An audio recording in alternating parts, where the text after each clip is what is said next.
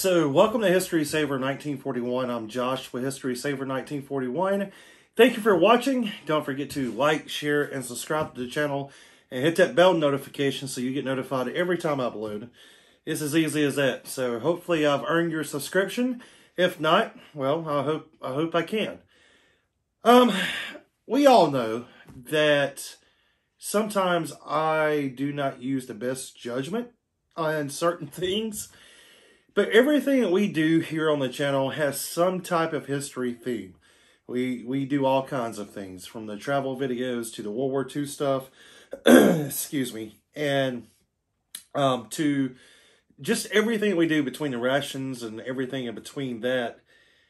We do a lot of stuff for history. Well, today uh, I was looking at some things from World War II and some of the items that soldiers had um, that they enjoyed, such as food and drinks and different things. And one of the things that a lot of people think about when I think about World War II and what the soldiers drink, uh, like to drink and enjoy, is Coca Cola. Um, bottled Coca Cola was a big thing during World War II. It was invented in 18, uh, around the late 1880s. Um, and the man who invented it, Mr. Pemberton, if I'm saying it right, um, was a Civil War veteran. And he was a pharmacist. He was uh, from Atlanta, Georgia. And in the late 1880s, he developed the formula for Coca Cola or the syrup for Coca Cola.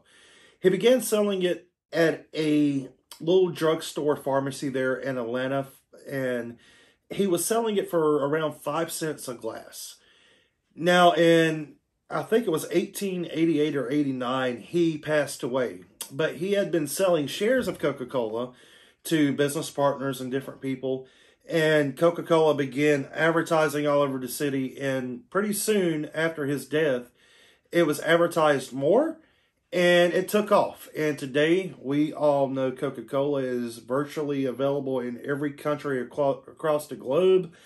And along with its predecessor or competitor, Pepsi Cola. But I have been watching a lot of friends here on YouTube, uh, such as Old Smoky and a lot of other guys, trying old Cokes. Now, I happen to have a few of these laying around. Um, they're not old, old, but they're from the 90s and then some early 2000s. But the the thing that interests me is that I was watching and it seems like, yeah, Coca Cola goes flat, but it's pretty safe to drink. So, what I'm going to do today, at the request of a lot of people, and well, Old Smokies just always try to get me to try some of these, honestly.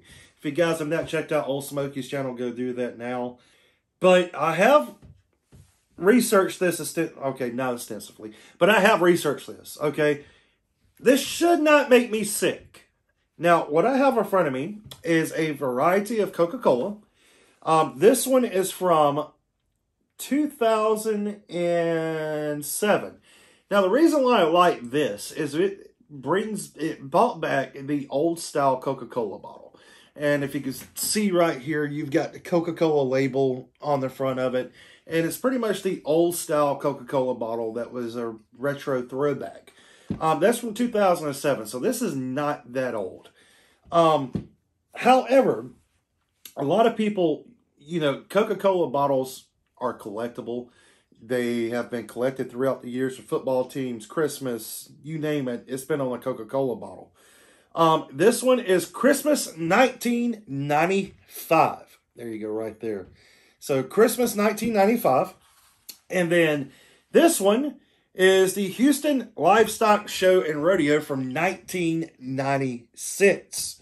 So pretty cool collectible bottle there. And then this bottle right here um, says class of 2000, but the copyright on this thing is 1996.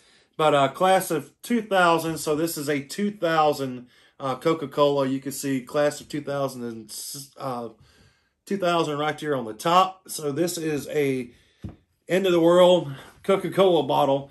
um, when Y2K was um, in the midst. But what I'm going to do is I'm going to pick out the oldest out of this batch and I'm going to try it. I'm going to drink it. You all against my better judgment. So I have a 1995 Christmas Coca-Cola right here.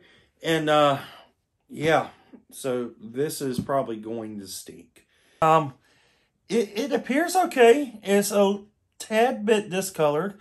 I do not know how these things were stored because I actually bought these at an antique store. So, I have no idea where these Cokes originally came from, how they were stored, if they were hot, if they were cold. But um, this one has a little bit of discoloration, not much. I don't really see too much floating around in this thing. Um, but, cue the music. Let's open up this Coke. Till I'm not a drinker, I don't even know how to use a bottle opener. There is a hiss. So hopefully um, something has been okay. Uh, the cap looks great. Um, there's a, well, hold on. There's the cap right here. Um, no discoloration whatsoever, really. Um, it's pretty sticky. Sorry. Little space, big man. Um, anyway, so you saw the cap. It looks okay. Um, let's do the smell test. Ooh. Um, now the smell of this Coke is uh, questionable. Okay, so um, do I put it in a glass or do I drink it straight out the bottle? Um, let's go for the bottle first. Oh, it, it, it has a faint smell of, you know, the Coca-Cola smell, but it just smells really old. Um,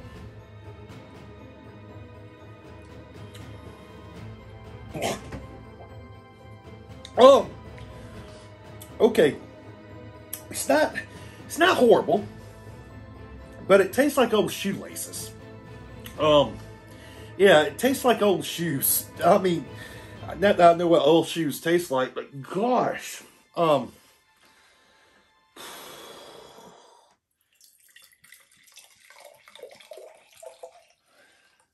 no carbonation.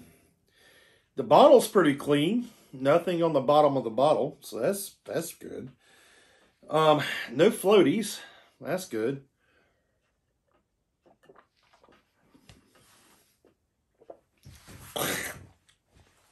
Yeah. Yeah.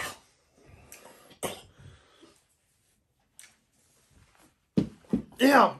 Okay, um ugh. Yeah, not not good.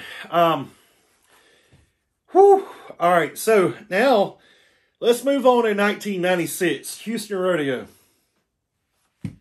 Oh. So here you go. Um, Houston Livestock Rodeo, 1996. There we go. Um, inside of the Coke, mm, I don't see any floaties. That's a good sign. A little hiss.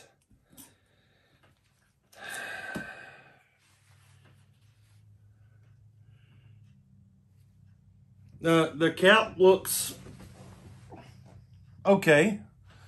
So, uh, yeah.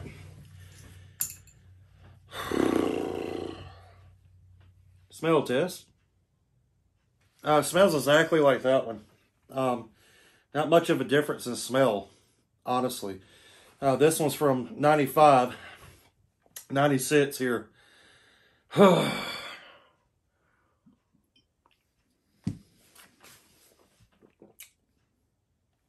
Hmm. Doesn't taste horrible.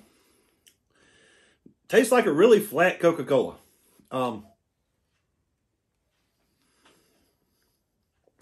yeah, yeah, that, that second taste is horrible. Um, whew. what am I doing? Um, how these guys do this, I don't know. Um, okay. Um, oh.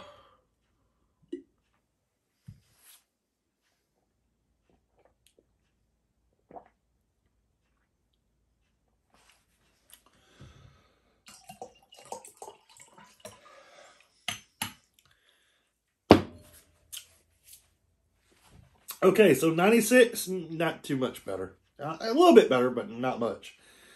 Um, this one, class of 2000. Uh, celebrate good times is what it once said. So graduating class of 2000, not for the end of the year, I guess, um, or for the start of 2000. Well, it leaves a really bad film on your teeth. Um, cap again looks fine. Wow. What is wrong with this cap? Sealed really good. Nothing on the cap. Uh, appears okay. 2000 Coke. Smells decent. No floaties in this one either. Um, Bon appetit.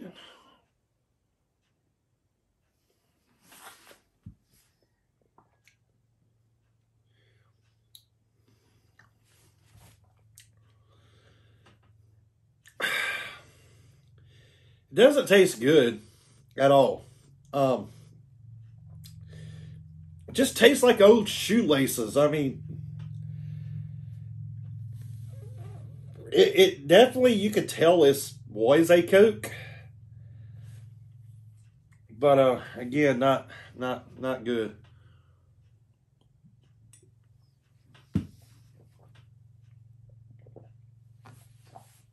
Oh, oh, oh.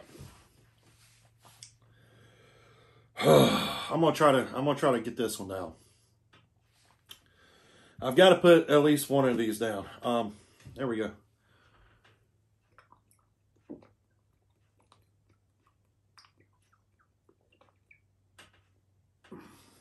Oh my God! He's, he's gonna, he's gonna, he's gonna, he's gonna puke! He's gonna puke! He's gonna puke! He's gonna, he's gonna puke! Okay.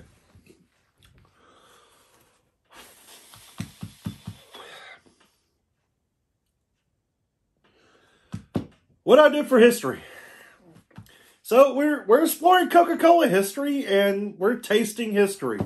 Um, like I said, guys, some of the some of the ways that I teach history sometimes are not practical ways of teaching history, but it's entertaining for you guys, and you know, it's something I can say I did.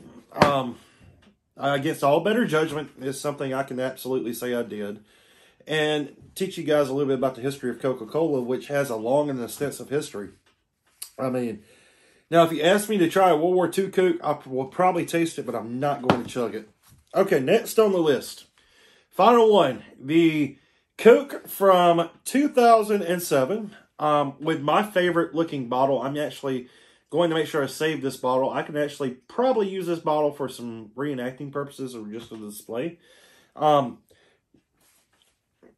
absolutely looks great. Fine. Nothing on the inside. And Here's you a better look at the old writing on there a little bit. You can barely see it.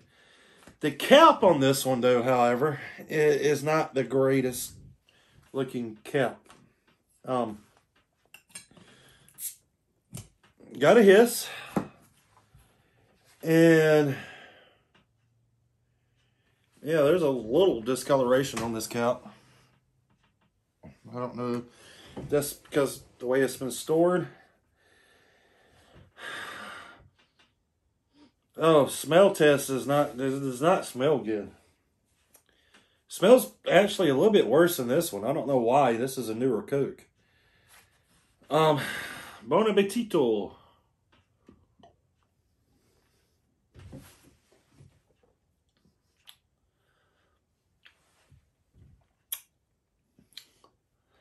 Uh-uh. Uh-uh.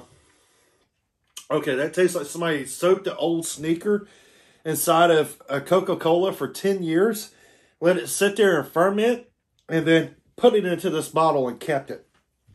That's horrible. That is absolutely just foul. Um, undoubtedly, this was stored worse than these because this is a newer Coke. Um, you know, some of the advertisements that Coke has did over the years are really neat. Um, the, Christmas advertisements, my fa- my personal favorite's always been the polar bear. Um, but you know, they used to have these things on horse-drawn buggies and. Mm, oh. Oh. Uh, but yeah, they used to have these advertisements on horse-drawn buggies and going through the streets and on carts and stuff and on the front of buildings and the uh, the script that you see Coca-Cola written in actually right here was the script of um, Mr. Pemberton's um, original business partner, and it, it still uses his based off his original script where he actually wrote the word Coca-Cola today, and that's always been synonymous. But you can kind of see how Coca-Cola has kind of changed a little bit with this script right here and then this script right here, it is a little bit different. It has the light, white lines going up in different ways, and you can uh, also tell that on this one. Um, oh my God. I don't know. I don't know if there's a reason for that. Oh. Why do I do this? Why am I doing this? This is the dumbest thing I've ever did on this channel. Okay, I can't do anymore. Um, yeah, so there you go. Um, I'm chickening out. Of course, I poured the rest of these in here. I didn't drink, but one of these. Um, there you go. Um, 2000 Coke, 95, 96, 2007. So 95, 96, 2000, 2007. A, uh, yeah, 20 something year old Coke. Uh, okay, guys. Well, with that being said, I'm going to go throw up now.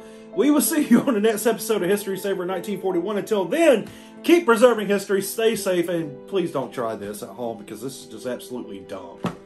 Have a good day.